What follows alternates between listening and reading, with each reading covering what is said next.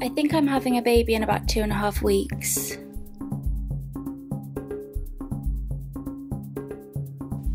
I thought I'd be much calmer being pregnant, but um, I haven't been.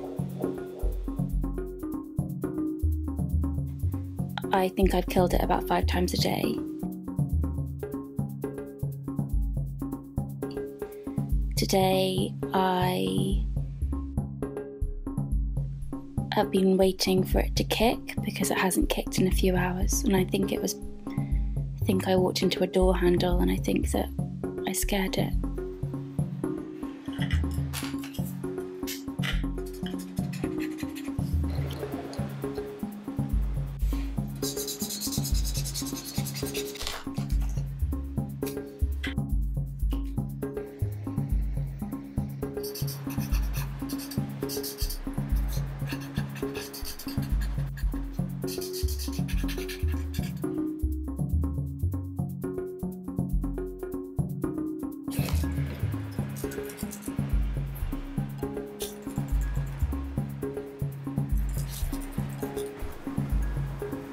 Keep Googling things about having a baby and birth. By 10 centimeters, you're fully dilated and may feel the urge to push. which don't help. Doesn't help.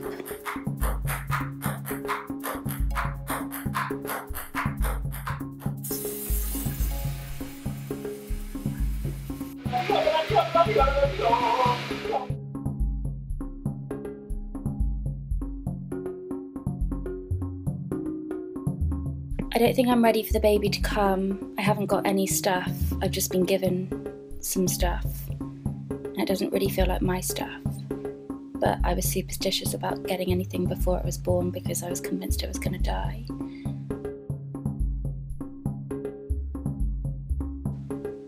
Whenever it kicks, I remember that it's actually happening. I've taken 18 selfies today.